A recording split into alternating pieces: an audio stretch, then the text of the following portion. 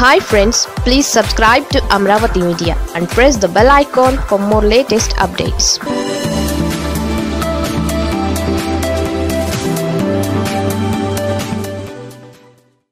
హైకోర్టుతో పోరుకు జగన్ రెడీ. ఈసారి ఏమవుతుందో? ఏపీలో వైసీపీ అధికారం చేపట్టిన తరువాత హైకోర్టుతో అనేక విషయాలలో సర్కార్ విభేదించింది. ముఖ్యంగా ప్రజల కోసమంటూ సీఎం జగన్ తీసుకున్న పలు నిర్ణయాలు హైకోర్టులో చెల్లుబాటు కాకుండా పోయాయి. దీంతో ఓ దశలో హైకోర్టుతో జగన్ పోరు బహిర్గతమైపోయింది కూడా. అప్పట్లో సుప్రీంకోర్టు న్యాయమూర్తి ప్రస్తుత సీజే ఎన్వి రమణ సాయంతో హైకోర్టు న్యాయమూర్తులు తమ ప్రభుత్వాన్ని అస్థిరపరుస్తున్నారని జగన్ నేరుగా ఆరోపించారు. ఇప్పుడు సరిగ్గా అదే తరహా పోరుకు జగన్ పావులు కదుపుతున్నట్లు తెలుస్తోంది. గతంలో వైసీపీ అధికారంలోకి వచ్చాక హైకోర్టులో వెలువడిన పలు తీర్పులు తమ ప్రభుత్వానికి ప్రతికూలంగా ఉన్నాయన్న కారణంతో జడ్జీలతో పోరుకు సీఎం జగన్ తెరలేపారు. అప్పట్లో సుప్రీంకోర్టు న్యాయమూర్తిగా ఉన్న జస్టిస్ ఎన్వి రమణ ఏపీ హైకోర్టులోని కొందరు న్యాయమూర్తులతో కలిసి తమ ప్రభుత్వాన్ని అస్థిరపరిచేందుకు ప్రయత్నిస్తున్నారంటూ ఏకంగా సుప్రీంకోర్టు సీజే బాబ్డేకు లేఖ రాశారు. అంతటితో ఆగకుండా దానిని బహిరంగంగా విడుదల చేసి మరో సంచలనం రేపారు. చివరికి సుప్రీంకోర్టు సీజే ఈ ఆరోపణలపై విచారణ జరిపి పసలేనివిగా తేల్చేశారు. అప్పటి నుంచి ప్రభుత్వం కోర్టులు న్యాయమూర్తుల విషయంలో మౌనంగానే ఉంటూ వస్తోంది. ఏపీలో అమరావతి స్థానంలో మూడు రాజధానుల్ని అమలులోకి తెచ్చేందుకు సీఎం జగన్ తీవ్రంగా ప్రయత్నించారు. అయితే సుదీర్ఘ విచారణ తరువాత హైకోర్టు అమరావతికే మొగ్గు చూపింది. అమరావతి స్థానంలో మూడు రాజధానులు తీసుకురావడం చల్లదని ఈ మేరకు చట్టసభల్లో చట్టాలు చేసే అవకాశం కూడా లేదని తేల్చి చెప్పేసింది.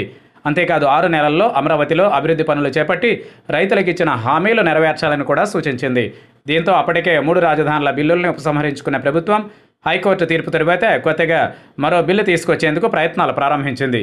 గతంలో మూడు రాజధానుల ఏర్పాటు కోసం తీసుకొచ్చిన రెండు బిల్లుల స్థానంలో కొత్త బిల్లును తెచ్చేందుకు ఏపీ ప్రభుత్వం ఈ నెల ఇరవై ఒకటిన ముహూర్తంగా నిర్ణయించినట్లు తెలుస్తోంది. తాజాగా సీఎం జగన్ తనను కలిసిన కుల సంఘాల నాయకులతో ఈ విషయం బయటపెట్టారని సమాచారం. దీంతో హైకోర్టు తీర్పుకు వ్యతిరేకంగా ఏపీ అసెంబ్లీలో మూడు రాజధానుల కోసం కొత్త బిల్లు తీసుకొచ్చేందుకు ప్రభుత్వం సిద్ధమవుతున్నట్లు అర్థమవుతోంది.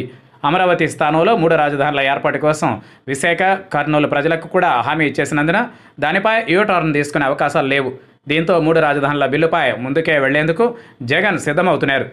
గతంలో తన ప్రభుత్వాన్ని హైకోర్టు న్యాయమూర్తులు తన తీర్పులతో అస్థిరపరుస్తున్నారని ఆరోపించిన జగన్ ఈసారి హైకోర్టు తీర్పు ఉన్నప్పటికీ దానికి విరుద్ధంగా మూడు రాజధానుల ఏర్పాటు కోసం కొత్త బిల్లు తీసుకొచ్చేందుకు సిద్ధమవుతున్నారు.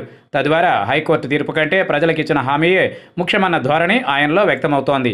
అయితే హైకోర్టు తీర్పును ధిక్కరించి అసెంబ్లీలో మూడు రాజధానుల బిల్లు ప్రవేశపెడితే రాష్ట్ర అత్యున్నత న్యాయస్థానం ఎలా స్పందిస్తుందన్న దానిపై ఇప్పుడు చర్చ జరుగుతోంది.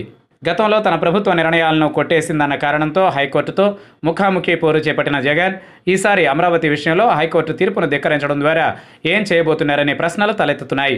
మూడు రాజధానులపై హైకోర్టుతో తాడోపేడో తేల్చుకునేందుకు సిద్ధం కావడం వల్లే కొత్త బిల్లుకు జగన్ రెడీ అవుతున్నారన్న చర్చ జరుగుతోంది.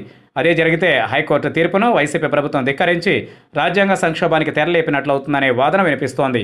అలాంటి పరిస్థితుల్లో కోర్టు తీసుకునే నిర్ణయాలు కూడా కీలకంగా మారబోతున్నాయి.